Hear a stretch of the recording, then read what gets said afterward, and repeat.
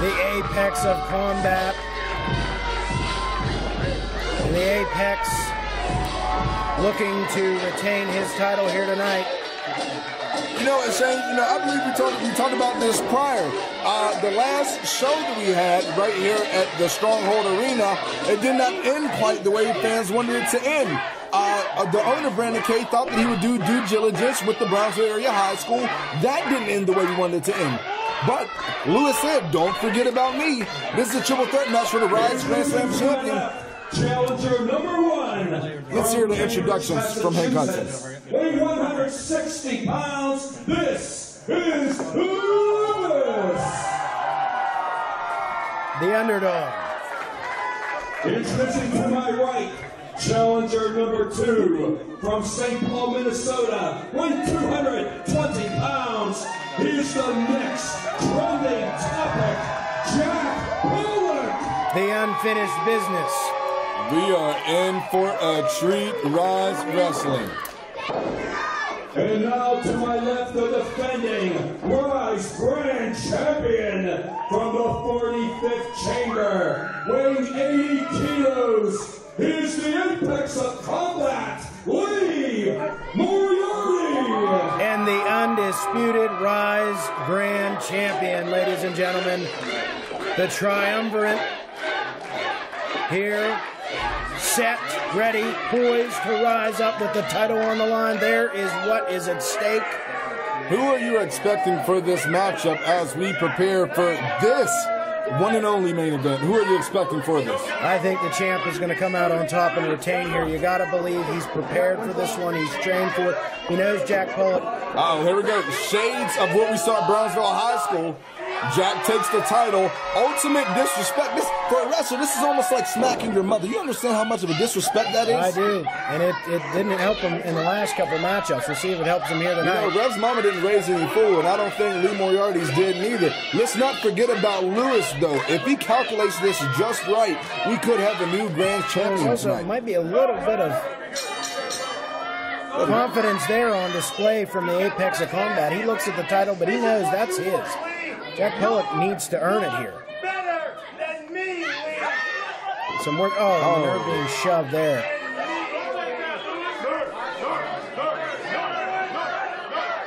And the nerd says, "Hey, you got unfinished business, but I got a shot at the title." And now, shades of February 10th and March 3rd. But now the nerd adds his take into it. Lewis is trying all that he can to get in there, but at the same Lewis, look time, at him. He he knows Jack Uh-oh. Pollock. They have history, but oh, the nerd Lewis again one. landing and putting himself into this match. He has to remind the champion Wait. these two rivals that he's in this. And now they're teaming up. Lewis said, I'm not going to calculate this by myself. Let's do this together. And it's a smart move in a triple threat. You want to know why? Because one plus one equals two. And one is the loneliest number. grab. Again, that fantastic education on display as the nerd gets slammed down on a Jack Pollock. Police said, I'm not going to make it that easy for you. This is my title. That's right. You guys have to understand that. Wait, wait, wait. One. Do we have a new champ? No. Close, but no. That's how the nerd's going to have to win this, Rev. I think you'd agree with that. He's going to have to be sneaky, crafty. Absolutely. And I think what better, what better person to do it? That alliance quickly dissolving there. Oh, what a shot. Almost broke his glass. That didn't factor into the, the calculations. Oh, tripping up the nerd here. Drop down. Goes down, and look at that. Oh, dragging him over to kick out. And Lee Moriarty going to look for. Oh, look at this, the nerd now. Backslide. Backslide here, cover, and no. What do you think has to happen right now? Wait, sunset flip? Sunset flip, cover, one, two, no. And look at this, cover again, two, and no.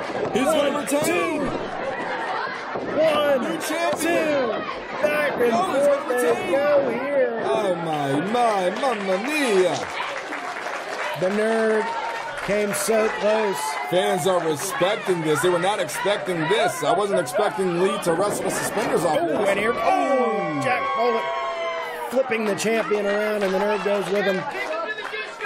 They're down in the center of the ring, and Jack Pollock smartly waiting for them to, to brawl it out here. We're talking about this. The uh, uh, Jack Pollock, the next trending topic, tosses Lee out almost like a piece of trash and now focuses on Lewis. You got to understand, this is a focal point of Jack. He is not new to this business. Seven plus years in the game, trained by WWE, pretty much a, a, a legend, a honorable person in the business, Lance Storm. And I mean, taking the glasses off there. This guy, this guy is from a fine cloth. Exactly. He has the pedigree and he has the strength there to drop the nerd down face first into the canvas two, kick out of two. You know what? I wasn't expecting Lee to kick out of that, but I guess someone had their uh, Wheaties and said their prayers this morning. And Jack Pollock is smart there. He wants to keep the apex of combat out of this match and focus entirely on the nerd. Shane, we talked about this prior, uh, prior even at intermission on Facebook. If you go to the Facebook of Rise Wrestling, uh, that you don't need to pin Lee in order to become champion. Ooh. He can pin Lewis, and in my opinion, that's a smart way to go about it. Uh, kind of judging by the characteristics exactly. of both guys. The Apex of Combat does not have to be pinned to lose the title here. That's important to keep in mind. Classic triple threat rules. Ooh, off the ropes and into the fist. And off the ropes and delivering the knees. Jack Pollock looking for the finish there. Russian leg sweep. One, two, kick out. Lee barely being able to crawl up to the rope in order to get in. And here we go, the Apex of Combat off the top rope, delivering the clothesline.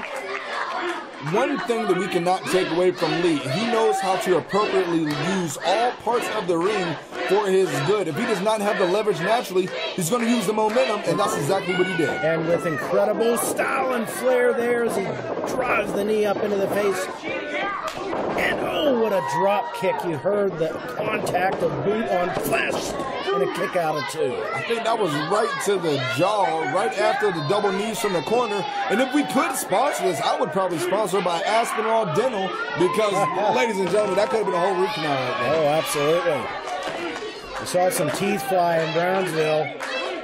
And Lee rising up here with the audience behind him. Here comes the oh! If he connects with all of these, this could be it. This is how he wears down the, his opponent. The Bruce Lee of pro wrestling, as he's been called. You mentioned that on the last show, Rev. Hook of the leg, two, kick out. And now Lee gonna bring him up, and no, Jack Pollock gonna swing for the heels here, and there's a slap right to the face. Knee to the jaw back and forth they go, exchanging until the final blow was delivered there by Lee in that exchange, leaping back up to his feet, shades of the Heartbreak Kid, Shawn Michaels. Also a little bit of shades of Diamond Dallas Page. That's that right. Really sneaky back into this and the drop kick into the corner. Look at that. The full body weight of the nerd. It might what, not be what much. Expect here? I don't think we saw him do this before. The momentum carrying him. Oh, another drop kick there. And like I said, the nerd's not the biggest pro wrestler, but he can make his body weight work to his advantage with the height and the velocity. It doesn't take you to be a big guy to make an impact in this business. Wait a second. One, two, and no. As I'm saying, it doesn't take you to be the biggest person to make an impact in this business. I mean, look at some of the greats. Rey Mysterio. Yes, Roddy Roddy Piper. You know, the, some of the smallest of the guys make the biggest ripples within the water of professional wrestling. We could potentially see history in the making right here at Rise. Reminds me of Mick Foley, the ultimate underdog there, winning the title for the first time. Could we see that here in the Nerd tonight? Could we perhaps see a little bit of the, uh, one, two, three kick? Potentially, another great underdog. And there's another clothesline. Jack Pollock, you saw his eyes Wait, to the back of his head, and no! Almost rolled. Lee barely being able to get in there. How much does this? How, how, much do you think this means to each one of these guys? It means everything. It's, it's the, the, the pinnacle of their careers. It's the pinnacle of Rise Pro Wrestling. All three of these combatants want to walk out of the stronghold as champion. Who's going to win it all? Oh, oh. Spinebuster, as Jack Pollock looks to answer just that question. That'll take the wind out of your rev. A spinebuster in the center of the ring. Hook of the leg, too. Kick out again. Another near fall. Jack Pollock, seconds away from winning the championship. All it takes is one move, one mistake. We crown a new champion. In this industry, like you said, it takes one move, one mistake, In three seconds. in three seconds. That's all. One bad move, and it can be over. One of the worst mistakes of your life. I've made a couple of them uh, just within my years of wrestling, and it, it, you don't want to look back on it and regret any moves that you have made. The heart, the fight, caught there, lifted up onto the shoulders of Jack Pollock, and down he goes. Another hook of the leg might crown a new champion. Very smart. Remember, I talked to you about the the uh, the amount of years and experience that Jack has. Notice that unlike some other pins, Jack actually rolled the arm of Lewis in, trying to uh, keep his shoulders down on the mat for that three. That's one thing veteran maneuver. Veteran maneuver there. You see Jack Pollock, he is in full control of this one for the time being, but the apex of combat going to battle back, and Listen to that crowd. the fans are behind him here. Elbow misses. The shots from Lee do not. Chops right to the chest. And again, Lee feeling it. And also feeling the turnbuckle there as he lands face first. Hooked up one, two. Oh, almost crowned a new Rise Grand Slam champion. And that's what's on the line here, ladies and gentlemen. You can feel the excitement, the electricity in the air. We have a title on the line. I can't tell you how close the tension is. You can cut it because here's the reality of it. You cannot see the other opponent, but the other opponent is Lewis the Nerd as he's temporarily suffering from a small injury on the ground. However, in this match, two people will go home upset. One person will go home with their hand held. stucks under, and lands right into the boot of Jack Pollock, who now may be three seconds away. We talked about a one, two, and no. Grabs the rope, does the champion, and rolls out of the ring. don't And the nerd pointing to his head, he's on the outside. I think he's regretting the mistake that he oh, made. Jack Pollock, you do not want to insult him. He is chasing after the nerd here, and the nerd might be, this might be part of a plan here. I don't know. We'll see. What are the calculations of Mr. Lewis? He's off the ropes and delivers the elbow. You know Ten what? minutes gone, ten minutes. 10 minutes, but that doesn't mean anything gone by here. We saw Jack Pollock and Lee Moriarty going the distance time and time again, and there's a German suplex. Now you have Lewis in the equation. Wait a second. What is this? Unbuttoning that shirt. Ladies and gentlemen, he's ripping it off. Oh. And Lewis is fired up, delivering those shots to the chest. I think Lee has, uh, not Lee, but Lewis the nerd has snapped to another dimension of sanity. I don't know if he, uh, Consciousness, yeah. I don't know if he uh, drank the wrong juice in chemical class and chemistry class or not, but Oh, the tide coming off now. And Lewis is looking for his finish. Code breaker, no. And look at this. Is this going to be a sharpshooter here? Yes. this could be all she wrote. If he taps, if he taps, It all we hinges- might have a new champion. It all hinges on the Ladies and gentlemen, this might be it. Of Mr. Lewis. Oh, super kick. You could hear it. You could feel it.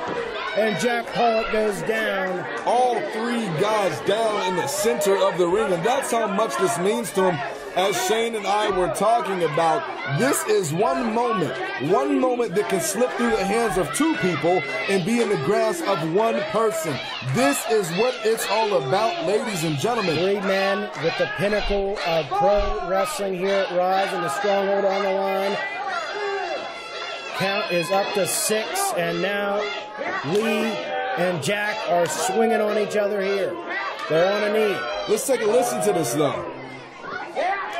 Notice the knuckles on skull, the sound, the to the impact, the tension, the aggression. They're putting it all on the line It's all right the now. history. It's the unfinished business I was talking about here as Lee. Ooh. And look at that. Jack Pollock expecting it, anticipating it, and now going to drive Lee down. But Lee's anticipating that maneuver and right into the nerd who lands the code breaker. And now Good luck. is good up timing. 1v1 against the champion. Lands the second code breaker there. If he could just make the pin on one of them, Needs this might be it. up. Oh my goodness, ladies and gentlemen, we have history to Double make it. cover. Two, you're new. No. So close, so close. You can almost taste it in the grasp of his hand, ladies and gentlemen. It does not get any closer than that. But against two of the of the combatants that went for the one of the longest matches in Rise Pro Wrestling history, that's to be expected. These are tough athletes here in the center of the ring. And the nerd is trying to calculate how he can finish this one off. I think Lewis is hulking up, as we like to call it here in wrestling. Can you feel it, brother? I think Lewis can. He said, Lee Moriarty, I'm coming. Oh, never mind. You know, just legs dropped it, drops a leg on the canvas. And explain to the audience what that feels like, Rev. What, just missing that move? I Yeah. tell you this, your tailbone can shift. This this is not any type of cushion. It is hard. It is firm. When you land on it, you miss your Jack mark. Pollock back up and now paying for that missed leg drop. A little bit too much showmanship from the nerd. As a matter of fact, my Spinebuster. chiropractor gets on me a lot just because of the misalignment. You, a lot of things in wrestling happens that fans do not see. Sometimes that's the most punishing maneuver is missing a maneuver. Absolutely. Enough punishing damage was staying and oh, look at that. But Lee landed hard after delivering that. And Jack Pollock is the only one on a vertical basis. I think Jack Pollock just spit out a tooth from some of those shots he took earlier. And now the nerd. Oh, Are we going to All see? three are on their feet. Are we going to see an alliance here? Oh, Oh. that was right to the back of the head, and oh, right to the back of the head yet again from Jack Pollock. But now Jack Pollock and trying to kick a nerd out of the ring. One, two, no. Uh-oh. We Oh, he's got before. got the submission lock Wait. in here.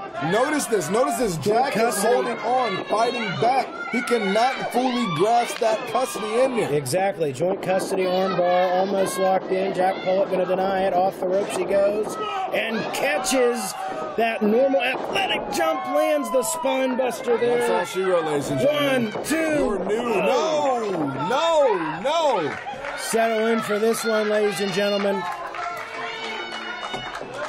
This is absolutely unreal. I'm pretty sure if some of our fans are able to even talk to us right now, they would say this needs to be somewhere within the big leagues, within perhaps a McMahon.